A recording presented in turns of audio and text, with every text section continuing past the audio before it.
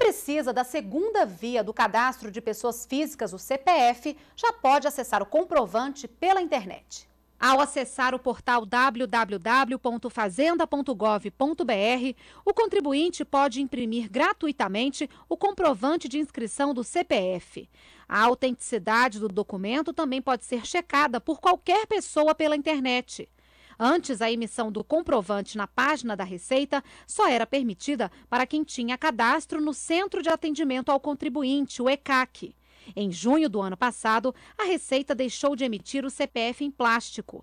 A inscrição pode ser feita com a apresentação de documentos como carteira de identidade, carteira nacional de habilitação, carteira de trabalho e previdência social.